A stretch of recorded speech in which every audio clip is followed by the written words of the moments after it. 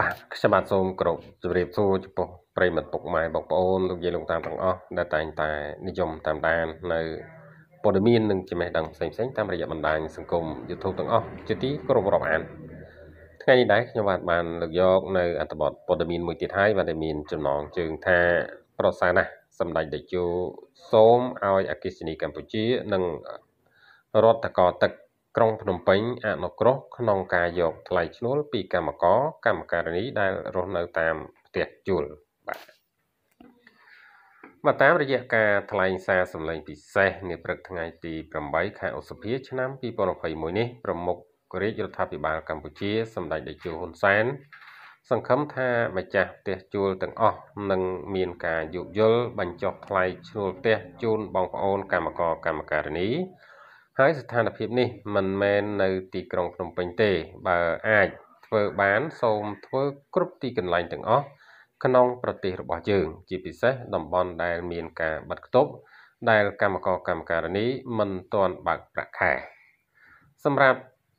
ថ្លៃទឹកថ្លៃភ្លើងសម្ដេចតេជោក៏សូមឲ្យអាជ្ញាធរអគិសនីក្រុមហ៊ុនអគិសនីកម្ពុជាក៏ដូចជារាជរដ្ឋាភិបាល បាទបាទសំទោស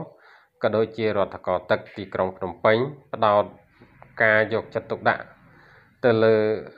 បញ្ហាផ្ទះជួលបាទរបស់កម្មករកម្មការិនីជាមុន បាទដោយត្រូវរកវិធីដោះស្រាយយ៉ាងណាមួយបាទដើម្បីឲ្យកម្មករកម្មការិនីដែលរស់នៅតាមផ្ទះជួល បានទទួលនៅការអនុគ្រោះក្នុងការយកថ្លៃទឹកថ្លៃភ្លើង ដែលជារួមបាទដែល ចូលរួមចំណែកជាមួយម្ចាស់ផ្ទះជួល ដើម្បីដោះស្រាយបញ្ហារួមរបស់កម្មករកម្មការិនីបាទបានអញ្ចឹងសម្ដេចក៏បានមានប្រសាសន៍ថាឲ្យក្រុមហ៊ុនអគិសនីបាទ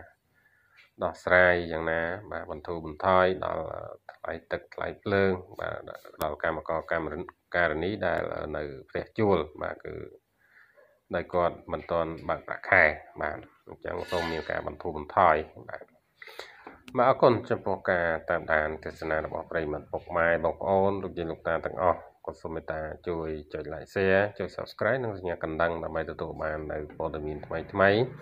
ចំណេះដឹងថ្មីថ្មីជាបន្តបន្ទាប់ជារៀងរាល់ថ្ងៃពី Channel របស់ខ្ញុំបាទផងដែរបាទសូមអរគុណសូមគោរពលា